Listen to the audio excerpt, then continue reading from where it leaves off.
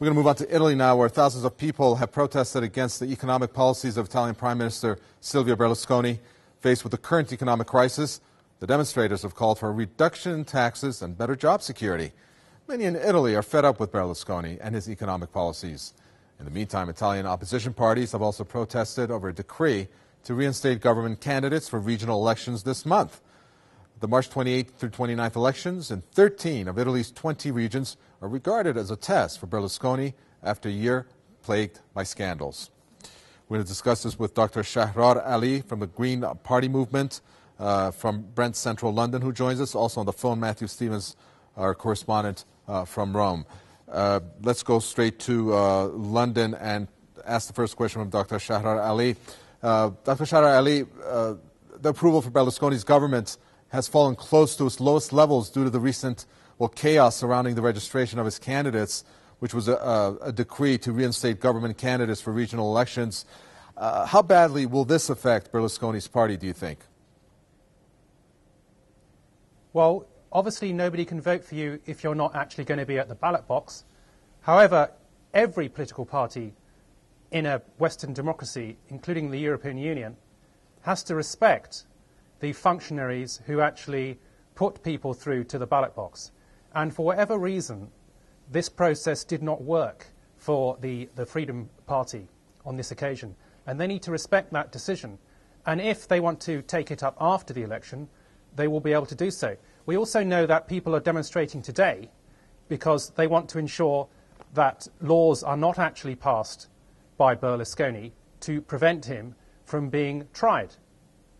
Okay. Uh, Matthew Stevens, can you please tell us about the demonstrations that Dr. Shahrar Ali was mentioning today, what people were saying, what they wanted, uh, what their gripes are? Yeah, well, uh, good evening, first of all. Um, well, the, the, the, rally yesterday uh, saw a huge response. Um, thousands, we were there, of course, and thousands gathered in Rome's uh, Piazza del Popolo. Uh, opposition leaders held speeches accusing the Berlusconi government of being incapable, basically, of running the country and of being out of touch with the real problems affecting the population. Um, as you mentioned earlier, the event was organized following the introduction of the government decree uh, that allows candidates' uh, lists to be presented past the deadline set by Italian law, basically. And, um, well, the situation is quite complicated right now. We must remember that Berlusconi does have a, a very um, huge uh, appeal to the Italian people.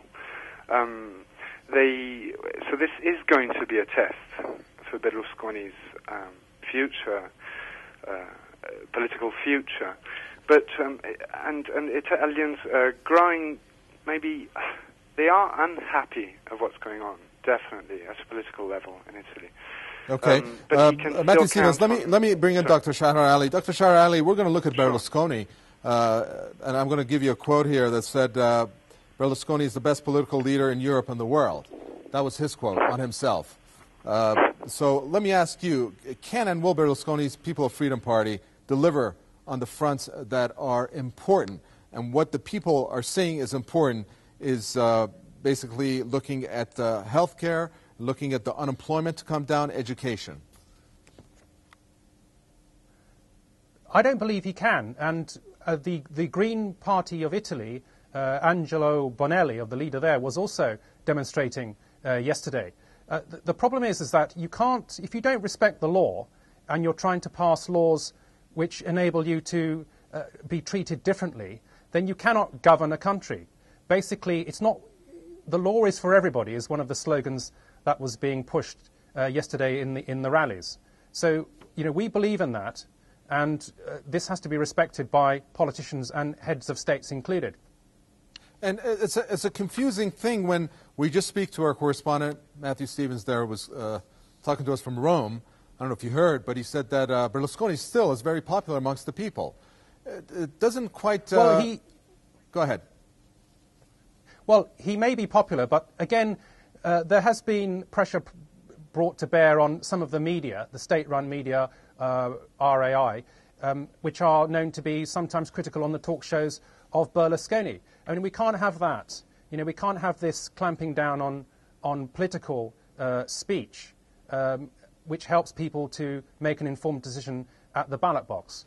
I mean, he's broadly described as uh, a right wing politician. Some of the statements that he makes are not conducive to uh, social cohesion, even, um, accusing the judiciary of being uh, Taliban esque um, is, is sort of not only a, a, false accusation, but it's also tarnishing them uh, with a ludicrous suggestion that Muslims, for example, are in some sense uh, not respecting of, of the law in Italy.